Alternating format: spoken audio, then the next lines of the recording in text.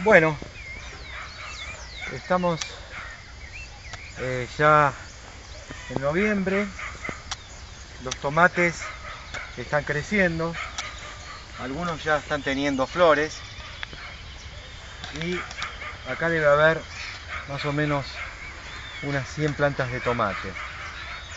Ya empiezan las tareas de atado, ¿eh? se, van, se pone la caña, se atan, acá ya se puede ver un tomatito saliendo,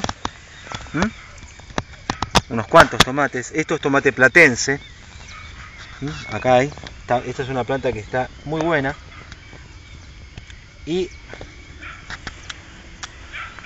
se van sacando los chupones, que por el momento acá no se ven.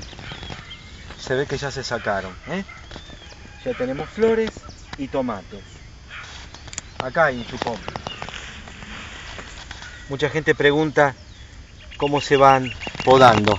En la axila crece el chupón y esto se corta, se hace siempre con las manos para no trasplantar si se hiciera con tijera hay, más posibilidad de plantar, de trasplantar algún virus, algún, algún hongo de un lado a otro. Por eso se hace con las manos. Y se corta el chupón para que no le quite fuerza a la planta.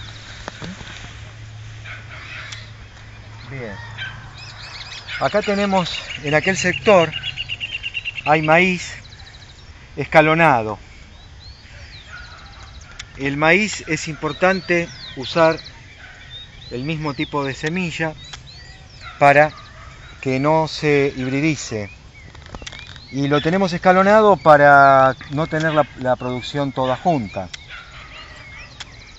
Esta es una huerta que eh, recién comienza y todavía estamos luchando con el pasto, especialmente la gramilla, que es muy invasora. Hoy, por ejemplo, estuvimos haciendo lo que se llaman las labores culturales, eh, sacando pasto, aporcando. Y eh, con respecto a la última grabación, lo que se puede ver es que las habas y las arvejas ya empezaron a dar. Por ejemplo, acá tenemos una planta de arveja que ya tenemos fruto. Estas arvejas este, lo que hay que hacer es ponerle unas ramas, son arvejas de enrame. Por acá tenemos apio,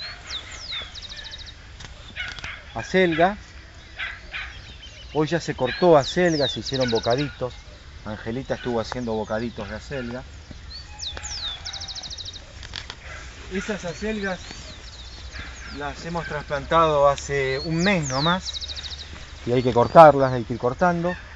Y hoy lo que hicimos fue trasplantar ajíes. La línea no quedó muy derecha, pero va queriendo, va saliendo. Y, acá tenemos habas, esos son ajíes.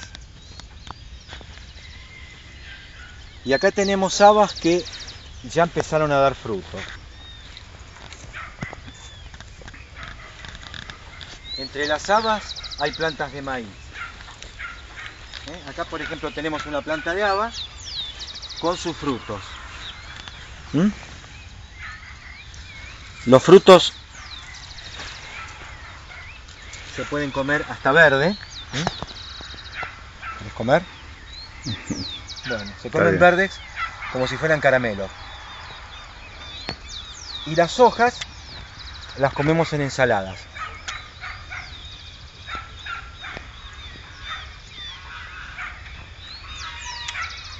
Víctor está regando los ajíes que trasplantamos.